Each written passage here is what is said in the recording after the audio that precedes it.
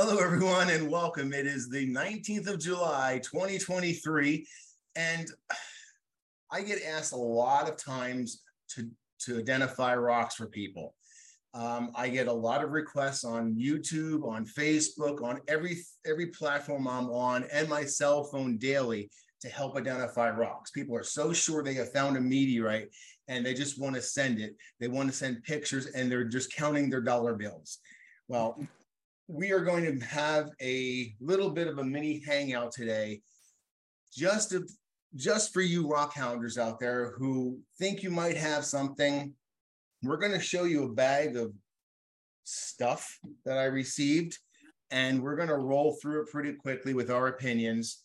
Um, then afterwards what's most important and really why you want to stick around is at the end we're going to share all the advice from the crew for you, the rock hounder who thinks you might have found a meteorite, or if you're investing your time on the weekends hunting and hunting for these meteorites, we have some advice from experts at the end of the video of how you can educate your mind and educate your eye to finding the meteorites. So hopefully this helps, and we're going to give you some tools at the end where you can actually upload pictures. If you follow the rules, you'll be able to get expert advice on if your rock is a meteor or not. So let's get right into it. All right. So I've, I've separated the samples into two bags. We have this bag and we have this bag, and we're going to roll through this bag. I had no idea when I offered to help this guy that I was going to be doing it on so many samples. hmm. All right. Let's just take, I don't even want to put them down to ruin my surface, but let's take a look at them one at a time, guys and it's basaltic. Yeah, the first giveaway on that is look how many holes are in that. Yeah, Yeah, vesicles, specifically those are expanding gas vesicles. Yes. Yeah. Mm-hmm. okay. Boom. we are, so we're just going to loop this one in with the same exact reasoning. Yep. Yeah. Too many Okay. gas bubbles. Those are all Not to gone. mention that it's like one solid color all the way through. Yeah. Yeah, very good. But it's it's definitely not a meteorite and has no magnetic attraction whatsoever. Um, all right. Look, I mean, some of some of you guys there's, see, there's another one with ex- expanding gas bubbles. We can put these all in the same pile. Yes. And when people see No. photos on the web of meteorites with holes in them, they don't realize that meteorite's the size of a small car, and those holes are not little gas bubbles. They're troilite blowouts or something. Mhm. Yeah. There's no visible metal. in that. Brecciation. Well, That looks like a breccia. It's an interesting solid band right by your thumb there.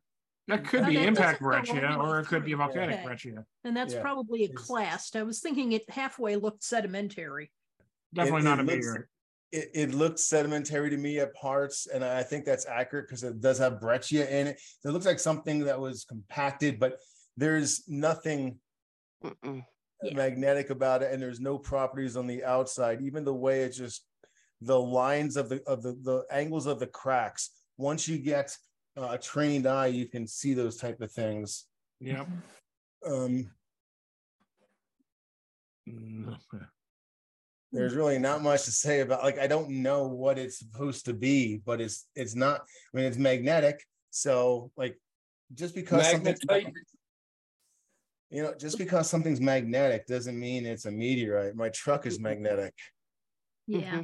Mhm. Other than being magnetic, there's nothing on that that says meteorite to me. No, no. That's definitely not meteorite. Yeah, like Look how red that is. Almost looks Yeah. like Jasper. yeah. Or It's granite. All right. So like these are like they have no chondrule formation whatsoever. No. That's very glossy too. Yeah. That rind is too thick for fusion crust, or is that just a, That's the that's no? a Maybe cutting that's artifact. cutting artifact. Yeah, Is that a trick? it it may be. It's glassy. Kind of looks like Vince just said, very Yeah. feldspar. Mm-hmm. Oh, wow, good. Well, we have someone with some knowledge that we, when he speaks up, we listen. Says feldspar. This And one, Steve has joined us too just now. oh, good. So we got uh we got the finder on the on the phone or on the line with us as well. This one, uh, what what does that look like to you guys on the exterior? It has a definite interior and exterior, which Hmm. is something you don't see in meteorites. That is true. It is an interesting rind, but that's much yeah, too it's a thick for fusion weathering Yeah. rust. Weathering. Couple layers of desert varnish.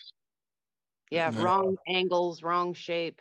Yeah, Interesting Very terrestrial sample. yeah, too thick, way too thick. I'd All say right. that's a piece of a concretion that got a rind on it. Okay, look at uh, another Jasper type shirt. it's Yeah, it looks very of- much. Yeah. Oh, yeah.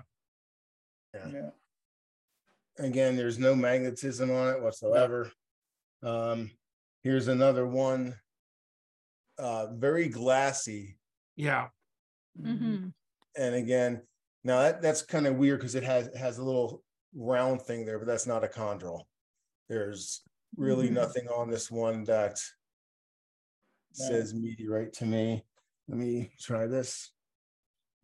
Well, one thing about jaspers and flints and agates is if you chip a piece off, the fracture line looks like a shell was spalled off, a con- conchoidal fracture, they call it. Right, mm-hmm. right. So I'm wondering with some of these, if you look at the areas where the saw broke a piece off, if you see that kind of fracture to it.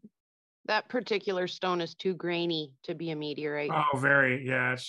It's Yeah, are you, uh, Allison, are you talking about the current one on the screen or the previous? One? Yes, I am. Yes, I am. Yeah. I'd like to get your opinion very- on this one too, Allison. What do you, Again, the linear grains in that are, are just too grainy. And then, yeah, the blobs, they're just not the right shape. Mhm. Could I ask a question? Were all of these from the same location? um, they, they were all, I believe they were all found in, in around, uh, in California. And that's as specific as we're gonna get. Okay. Yeah. Th- Looks th- volcanic. That again, looks volcanic. that looks vol- almost volcanic. Much all right. Uh, no. Again, visible grains. Yep. Yeah, very And, green. and it, it, Good. when you can see a void in there, it looks like maybe a missing chondrule, because people will point out the one thing to them that looks like a meteor, like, look, it's a blown out chondrule. That's what you showed me on, on one of those shows. How can there be blown out chondrules in a nickel iron uh silicate meteorite when there's no magnetism whatsoever? So that's one thing I'd like to remind people when you're when you're rock hounding. A bit of advice is don't get stuck on the one feature that you like and go, wow, look at that, and ignore everything else. So in the other bag, there's some examples of things that if you get lost in what you're seeing Mm. versus what you're not seeing. Uh-huh. So talk to me about this crew. What do, what do you see? Well, Yep. it looks like nickel in there because when you hold it at the right light, it reflects like metal. But Yes. if, if it were truly nickel iron, it would be that reflective no matter what direction you held it. Reasonable chance that that's smelting slag too. It looks like industrial That's- slag. That's what I was about to be that. say. It The is saw blade polished extremely magnetic. That's slag. Extremely. So I would say that's definitely industrial. Piece of This train is- Not grate. too many gas bubbles in it to be meteoritic for that much iron. uh, that's not a large chondrule you're seeing. That's not an armored chondrule you're seeing. So like people will will will see that and go, oh, it's a round spot surrounded by metal, armored chondrule. Again, you're getting lost in one detail you saw in one video. But this one appealed to me because when when you do show it like this, Mhm. I, I could think at a certain angles, well, we might have a mesosiderite. Well, mesosiderites are usually about 50% silicates and 50% iron or metals. And you just get a trained feel when you have a, a- Mhm. a magnet that you've honed to your hand, you know exactly, whoa, it should not, that jumps onto that like an iron, not a mesosiderite. Right. So I'm agreeing with the crew that this is industrial slag, but a cool meteor wrong in certain angles. Mhm. Yeah. Yeah. It's a nice one for a wrong pile. Oh, there, there is one thing that, that I wanted to wanted to point out on some of these samples. It's not coming out in the in this this is little mini studio lighting here, but when you have this in uh, with a light bulb, uh, not diffused, you see tiny little reflective crystals all in the rock. Pat, can you explain why that's a bad thing? Yeah, so crystalline faces like that really are not common in meteorites at all. Uh, that's an indication of larger crystal growth and uh, and a plane through which those crystal faces are exposed. Awesome. Thank you, sir. This is a solid hunk. Okay. It is 100. Oh my God. Yeah. It is 100% iron or metal.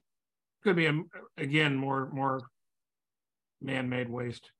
I would say- yeah, Mhm. Yep. As Yeah. soon as you see it from this angle, you go, whoa. Okay. So remember, yeah, Those holes. This is what an iron looks like. Well, hold on. this is what an iron tends to look like on the interior. This is what a mesosiderite tends to look like with the with the distribution and lumping uh, of metals sometimes. When you turn it over, you're not going to turn over an iron and have it turn into a melt silicate iron. Like that just doesn't really that's super super rare like weird type stuff that you didn't find. I'll just leave it at that one of the strong uh, uh, identifiers for smelting slag is those little beads of metal. Now, they they do show up in bencubbinites, but bencubbinites are ultra rare, and smelting slag is ultra ultra common.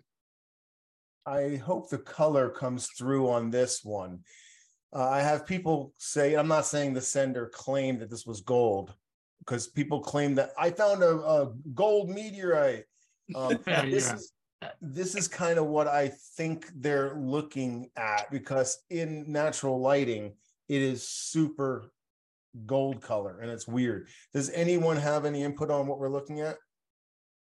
Yeah, expanding gas vesicles, um, Yep. uh, that that sheeting shelf thing there again. That's Yep. smelting.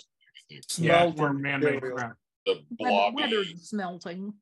The blobby plastic-like flow there. That's also very diagnostic of smelting Yep. slag. Looks like a rather weathered piece of smelting. Yep. Oh, Yeah. All right. Absolutely. So that would be, oh, this is the piece of breccia I mentioned earlier. That's pretty cool. I, I think this one, uh, of the whole box, if you wanted one back, I'd send this one back to you because I think it's, uh, it's worth, it's, it's, I think it's the most interesting one. It's definitely an impact breccia of some sort, I would imagine. Well, there Could are be volcanic. Breccia. mechanisms. Doesn't have to be impact. Oh, okay. All right. See, that's why I have a crew behind But me. it's a cool looking rock. It doesn't Yep. have, Yeah. even if it's not a meteorite. Yeah. And there's absolutely no attraction whatsoever. So I'm definitely not a meteorite.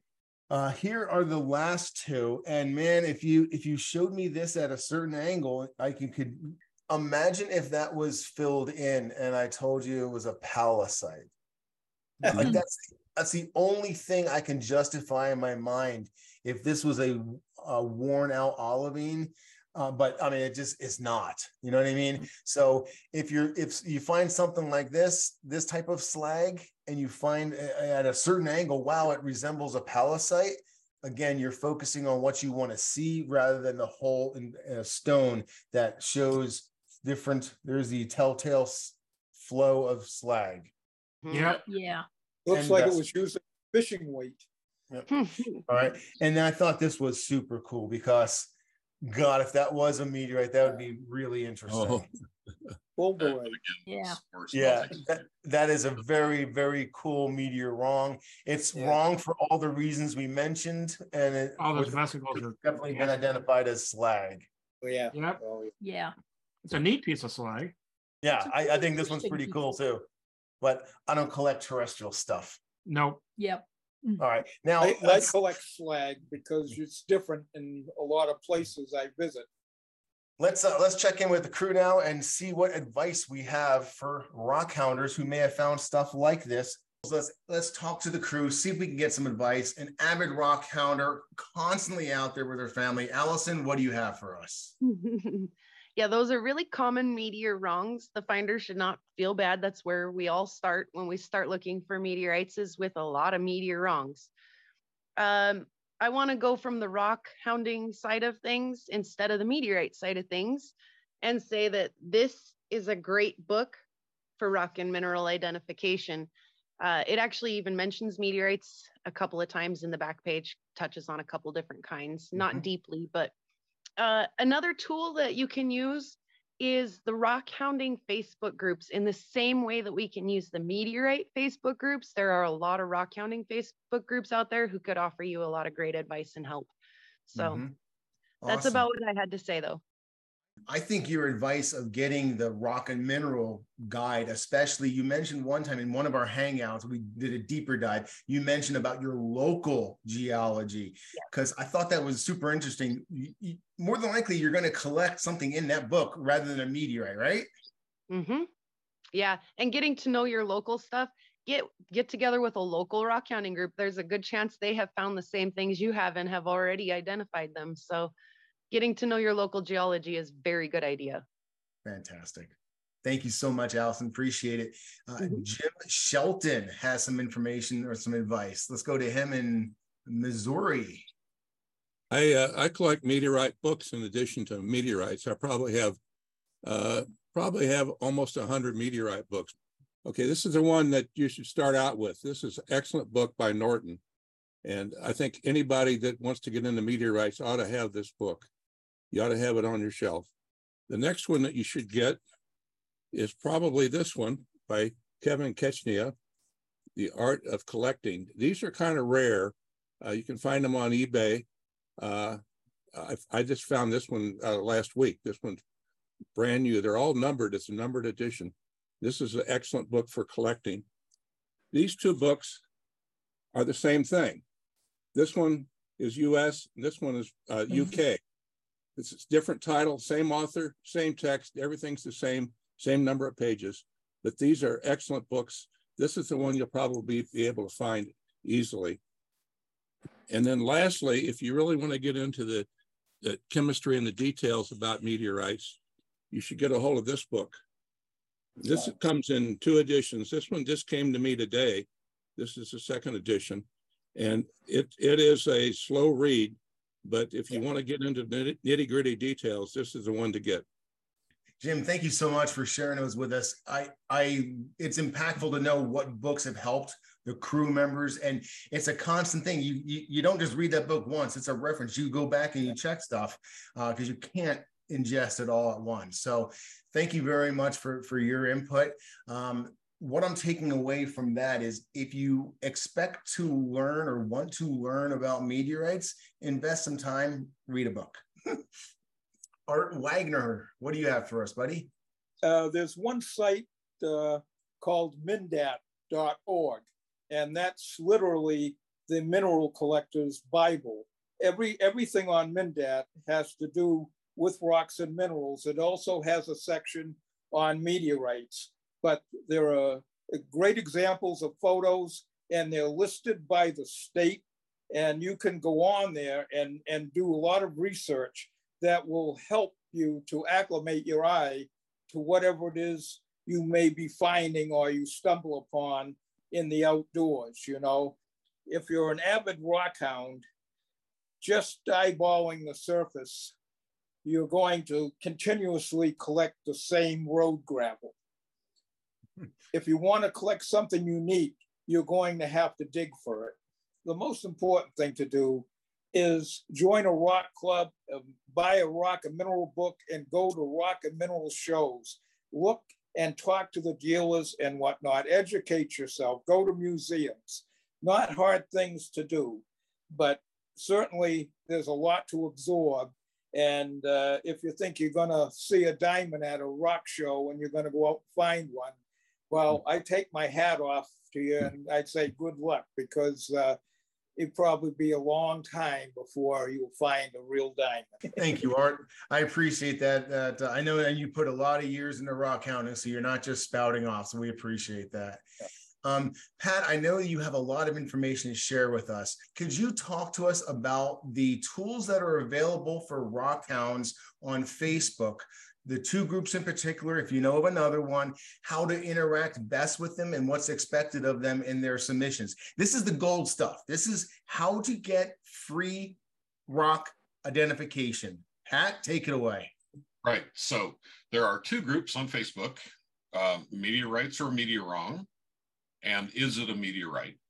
And uh, there are many other groups who claim to do meteorite identification. Most of them are filled with people who don't know what they're talking about. Those two groups in particular, meteorite or meteor wrong, and is it a meteorite, have a number of people answering uh, inquiries there who have decades of experience, both professional and self taught. Um, the key to using that resource is respect the people that are there, respect the fact that they're giving you a service that took decades to understand and that they're giving that to you for free. So you, you don't want to go in there with a chip on your shoulder and argue with them. You want to go in there and learn. That is uh, an, an excellent, excellent resource. And I, I second Art's uh, comment about Mindat. That is a massively powerful thing. I can't believe it's free. Uh, that will help you identify earth rocks. Awesome. Thank you, Topher. Thank you. We're going to come back to Pat with some more, um, but I, I do want to let you know that one of the reasons why we are sending you to that resource rather than me doing it myself, because I can't, and I'm not the smartest person. If you send your pictures to that group, if you put a post up where it's one rock per post from all angles out in natural sunlight, showing exactly what the rock is, that's going to get your best result. If the group tells you it's not a meteorite, move on divorce yourself from it, move on, find a happy mental place and live there. If they say it's a meteorite, immediately email me and I will buy it from you. there's going to be someone there. If they say it's a meteorite, trust. We want you to have a meteorite. We want it to be real as you do as well. We're just being realistic and letting science rather than emotion rule. Hopefully, that's a good segue to Carl and Diane. Carl and Diane, what do you have for us? I just wanted to expand a little bit about Art saying about location. Um, I live in, in New York, you know, uh, and when people brought me rocks, so most of the time, claiming they're meteorites, they were industrial waste, which led me to say that if you were going to be hunting in, especially a state like this, looking for meteorites, which is very difficult, do some research look up historical maps, find out where various industrial sites were located, and you will find on old maps where there were mines, where there were smelters, where there are all these different things. Just yeah. do the take the time to do the research before you go hunting, especially in difficult areas like the state where I live. It's not like where we have dry deserts or anything like that. Also, if you're hunting a creek bed, look at the upstream area in that watershed because a flood can carry rocks quite a long distance. Mm-hmm. Thank you. And if the flood flows through an industrial site, you'll get slag downstream. That, I think that's great reminders to we, we already had Allison saying, you know, know what you can expect to find in your region. And now we're having more people say, know what you're to expect in your region, know your exact location. Um, so yeah, great. Really appreciate it. We have Greg Shanos. Greg, what do you have for us, man? I just want to add that uh, finding a meteorite is like winning the lottery. And how many of us have won the lottery? so, and um, the, the other uh, advice I have is if you're really serious about finding a meteorite, the best way to maximize your chances is to go to what's called a strewn field, is an area of which a known meteorite fall where they fell. And especially if you live in Arizona or Texas, a lot of meteorites have fallen there, like Arizona. Holbrook is a very famous one, Gold Basin, Franconia Notch, just to name a few. Uh, find out where those uh, strewn fields are and go there with a metal detector and and that's your best chance of winning the lottery yeah. not just you know picking up any old rock that looks a little weird, you know, that looks yeah. a little different.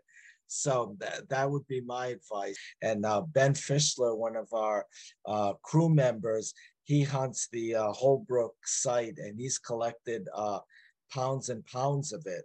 Uh, mm-hmm. From when the when it fell in the early 1900s, so there's still stuff out there that hasn't been found. Fantastic advice, Greg. It's like go to a target-rich environment Don't go Right. in the middle of nowhere. Know what know what to expect by going to a target-rich area, knowing what could be found around there, what the history of, of the place is. Really, really good bringing it all together. Um, we have my beautiful wife Sue up next. Sue, what do you got for us? I just wanted to say regarding the Facebook groups, um, definitely um, go to the Facebook groups that Pat recommended specifically. Um, I'm a little bit newer to meteorites than most of the crew, and I've been in the other groups checking things out. And I can see how some uh, people that um, aren't educated on meteorites could be really led astray because there are a lot of people who have no idea what they're talking about, validating people that don't have meteorites and they're it's like they're all taking turn posting and everyone's like great awesome and i'm Yes. like oh, gosh they really believe it and like so go to the groups that we specifically recommended that's where the experts are they're not going to be in those other groups Exactly. And for the last three plus years, for the last three plus hundred videos I've been posted on my YouTube channel, every single video description has both of those links. So I'm not even going to say I'm going to drop it in the description. It's already been there for three years waiting for you.